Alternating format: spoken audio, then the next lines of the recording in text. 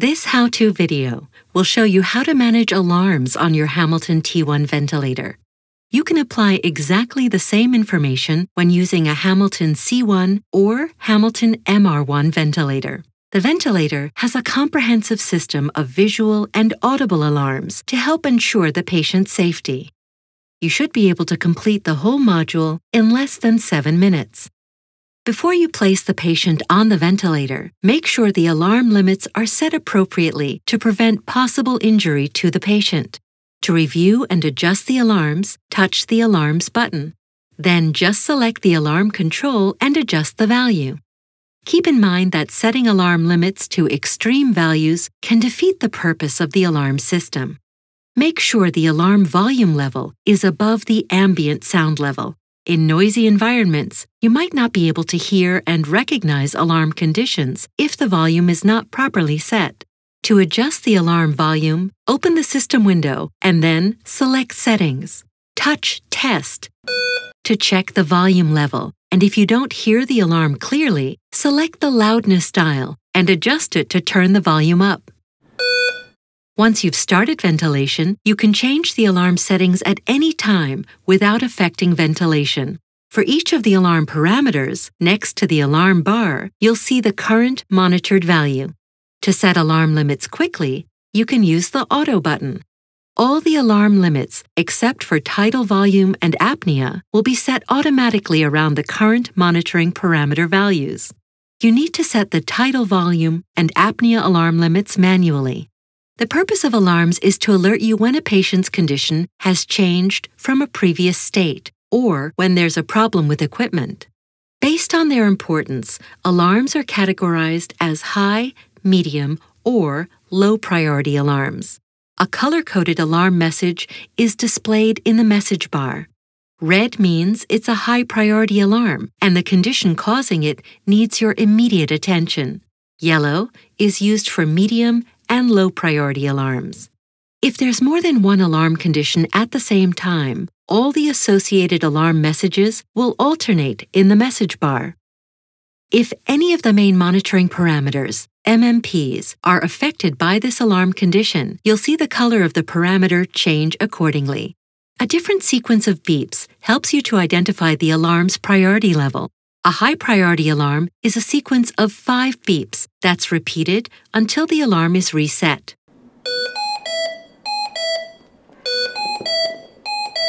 A medium priority alarm is a sequence of three beeps, repeated periodically.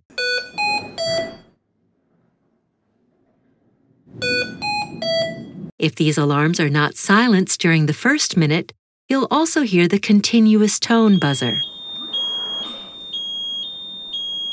A low priority alarm is just two sequences of beeps that's not repeated. The alarm lamp on top of the ventilator is visible from all angles, so you're alerted to alarm conditions even if you're far away or there's a lot of noise. The color of the lamp tells you the priority level of the alarm. Red and flashing means it's a high priority alarm, while yellow and flashing equals a medium priority alarm. Yellow and solid is used for low priority alarms. You can view all the active alarms in the Active Alarm Buffer just by touching the message bar. If you see a red eye icon, it means there's information available about inactive alarms.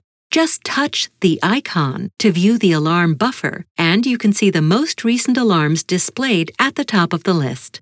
Once you've reviewed all the inactive alarms, press the Reset button to clear the alarm messages. Simply closing the buffer will not erase its contents. Information about alarms is also stored in an event log.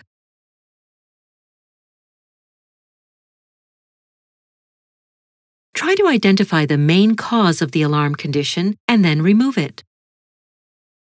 Be aware that one alarm condition can sometimes induce multiple alarms. Normally, only one or two indicate the root cause of the alarm. The rest are resultant. Your search for the causes of the alarm condition should be assisted by, but not limited to, the alarm messages displayed.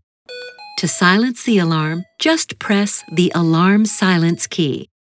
When alarm silence is active, the red indicator next to the key is continuously lit, and the alarm silence indicator shows you the remaining silence time. The entire lamp is still lit. To cancel alarm silence, just press the key a second time.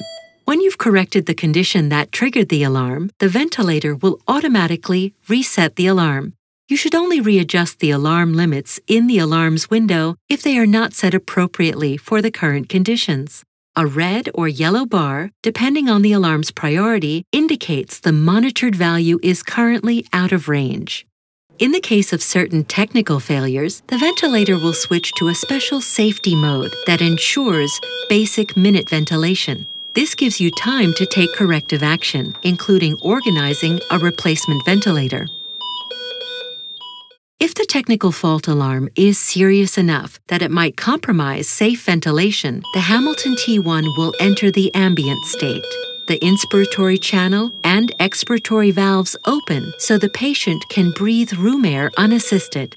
To exit the ambient state, you have to switch off the ventilator's power.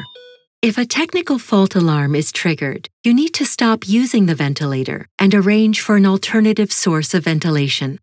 If possible, record the technical fault code and have the ventilator serviced.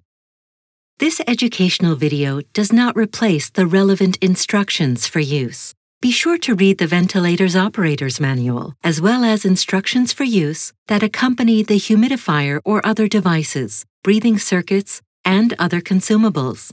Pay particular attention to important safety and hygiene information.